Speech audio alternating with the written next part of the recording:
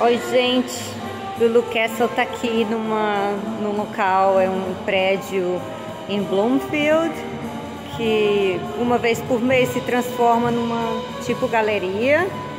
Então vim aqui, Lulu Castle itinerante. São minhas peças. Ok.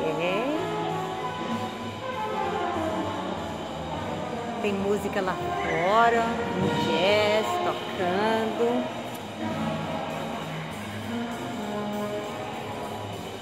Tem outros artistas expondo também. Vamos ver lá fora como está.